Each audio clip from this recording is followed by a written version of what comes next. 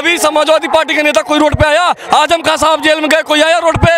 Diesel petrol के लिए लाठी खा रहे हैं। क्या आज़म खान साहब के लिए लाठी नहीं खा सकते थे? उत्तर प्रदेश का मुसलमान बहुजन समाज पार्टी की सरकार बनाने के लिए सं, संकल्प लिया है। ये बुलडोजर की सरकार को हमें हटाना है। मान्य बहन जी को हाथी की सरकार को बनाना है। मुस्लिम समाज चाहता है हमको सुरक्षा चाहिए सम्मान चाहिए। राशन भीख दे रहे हैं भीख भीख दे रहे हैं। जिनको जो काम नहीं करना चाहता भीख भीख उसको और यही यही उनकी नीत है कि इन लोगों को ऐसे ही बना के रखो ताकि ये हमारे पीछे पीछे हमेशा चलते रहे, भागते रहे, बिगड़ किए खाए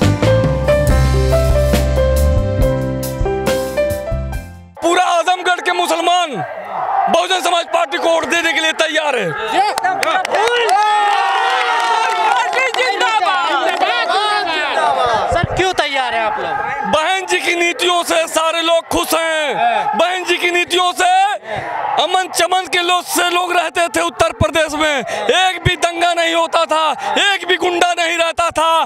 जब बहन जी की सरकार थी गुंडे सब जो है इस प्रदेश को छोड़ के भाग जाते थे।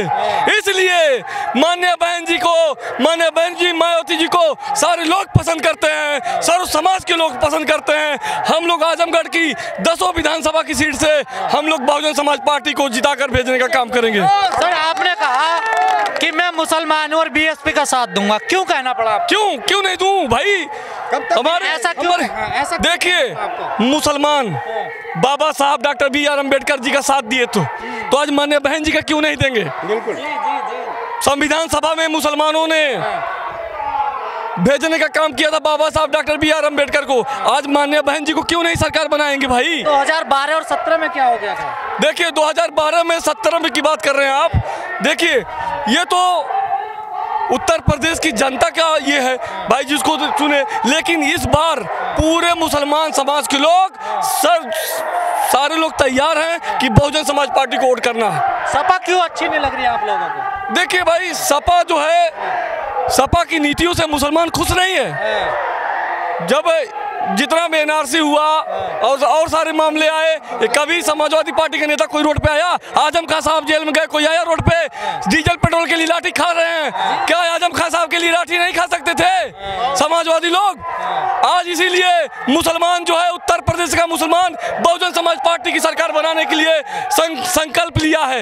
आज़म खान के लिए कहते हैं कि कोर्ट का मामला है वो कोर्ट देखेगा। देखिए ये ये कोर्ट का मामला जो है ये उत्तर प्रदेश विपक्ष की जो सरकार के भी सरकार के विपक्ष की जो पार्टी है एक मिनट मैं बता रहा हूँ। देखिए उत्तर प्रदेश में के विपक्ष में बैठे हैं लोग।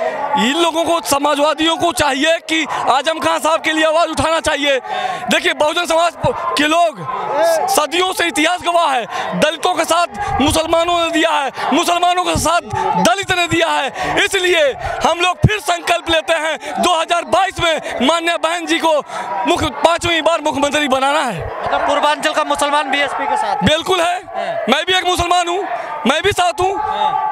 तो सपा में हित नहीं है आपका? नहीं देखिए हमारा जब जब भी हित होगा तो बहुजन समाज पार्टी में हित होगा। हाँ। जी। ऐसा क्यों लगता है आपको? अरे भाई मान्य बहन जी की नीतियों से सारे लोग खुश हैं। बीजेपी में हित नहीं है आपका? नहीं क्या बीजेपी में हित है बताइए ना। बीजेपी में क्या हित है? सारा बिक गया सब कुछ बिक गया। एयरपोर्ट बिक गया सब कुछ बिक गया। अब बचा ही क्या है भाई? बाबा कह रहे हैं गुंडे भगा दिए यूपी से। ये देखिए साढ़ पहले भगाए बाबा। पहले बाबा जो है साढ़ भगाए फिर जो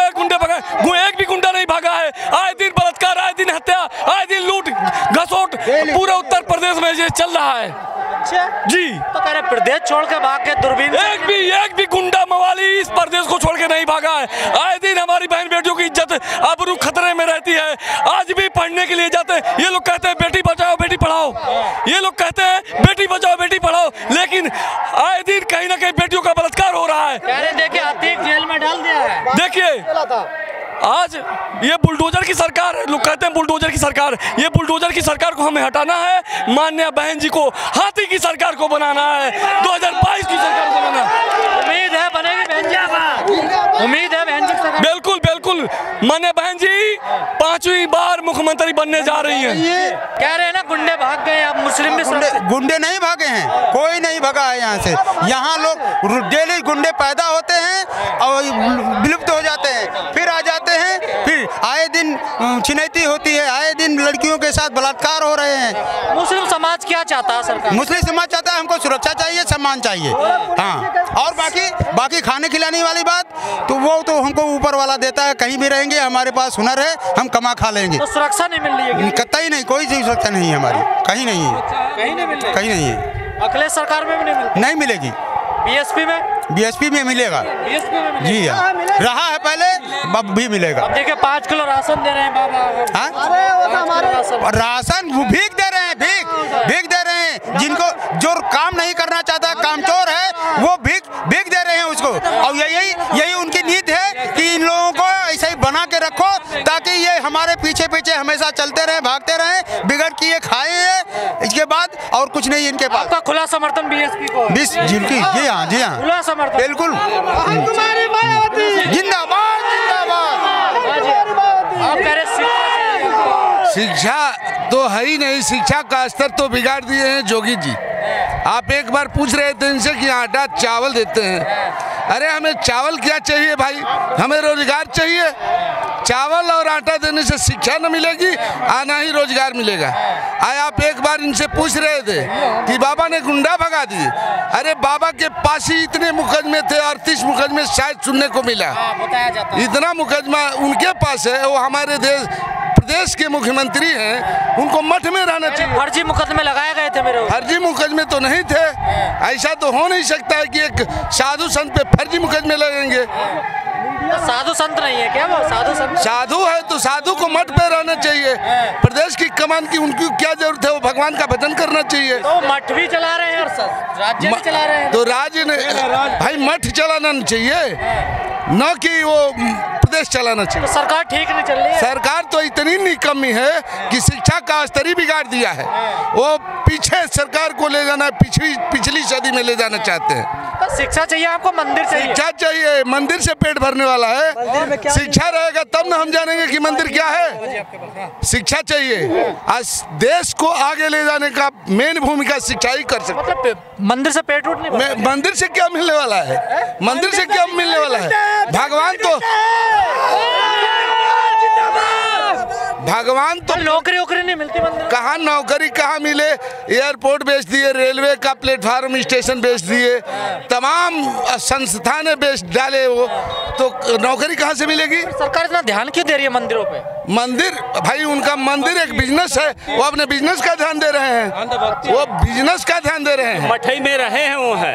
मठी में रहे हैं इसलिए वो मंदिर की परिभाषा समझते हैं कि मठी से उन्हें सब कुछ मिला है। लेकिन यहाँ तो दलित और पिछड़े और स्वर समाज को जो बहन जी ने दे दिया हिंदुस्तान में वो अब तक कोई देने वाला नहीं मिला। क्या दे दिया बहन जी? बहन जी ने इस प्रदेश में जो विकास करके दिखा दिया चाहे नौकरी से लेके और विकास के नाम पे जो बहन जी ने दिया बच्चियों को जिनको भूल कहते हैं पत्थर लगवा दिए बहन जी। ये तो पत्थर जी लगा दिए तो उनके बीजेपी बत्तल के नाम पे जिन जिन जिनका जिन जिनके नाम से पत्थर लगाया गया उनको उनको पूरी दुनिया जानती है। जिस बाबा साहब के नाम से पत्थर लगा उसे सारी दुनिया जानती है बल्कि इस राम को इस राम को इस हनुमान को सिर्फ़ हिंदुस्तान में लोग जानते बाकी दुनिया के किसी देश में राम भगवान को नहीं जानते हैं।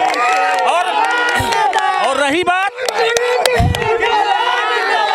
रही बात विकास की जो बहन जी ने अपने कार्यकाल में इस देश में जो विकास किया वो नरेंद्र मोदी भी वहाँ गुजरात के मुख्यमंत्री रहे हैं। अगर जो विकास बता दें जो बहन जी ने यूपी में विकास किया है प्राइवेट स्कूलों में फ़ीस लगा दी उन्होंने। इस प्रदेश में उन गरीबों को जो भिखारी भीख मांगते थे जो भीख मांगते थे थी बहन जी उनको भी एक बिल्डिंग बना के मान्यवर कांसी राम आवास आवाज़ के तहत देने का काम किया था।